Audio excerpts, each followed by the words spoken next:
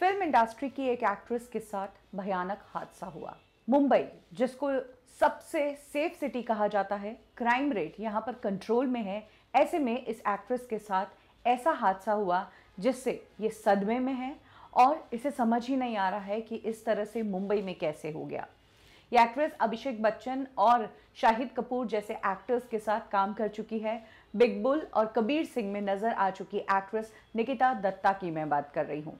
निकिता दत्ता ने अपने social media handle से बताया कि कैसे 24 घंटे उनकी ज़िंदगी के सबसे भयानक घंटे थे। उन्होंने बताया कि कल शाम को पौने आठ बजे वो बैंड्रा की रोड नंबर 14 पर वॉक के लिए निकली थी।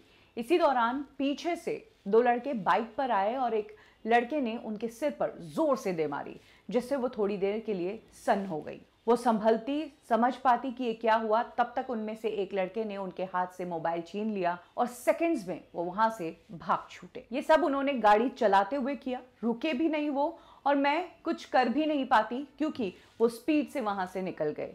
वहाँ के लोग जो मौजूद थे, उन्होंने ये पूरा नज़ारा देखा और उन्होंने मेरी मदद की। उन लड़कों को रोकने की भी कोशिश की। इनफैक्ट एक शख्स था जो टू व्हीलर पर था और उन्होंने उस लड़के का पीछा भी किया।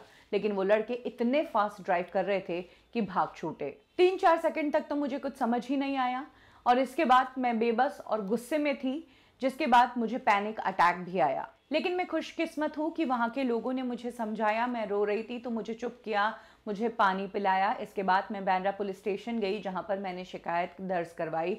और अब उम्मीद है कि जल्द ही पुलिस उन बदमाशों को पकड़ेगी। इसके अलावा निकिता ने कहा है कि ये पोस्ट वो लोगों के साथ इसलिए शेयर कर रही है ताकि लोग सतर्क रहे और जब मेहनत के पैसों की चीज़ ऐसे ही किसी और के कारण गंवानी पड़ती है तो बहुत दुख, बहुत दर्द होता है।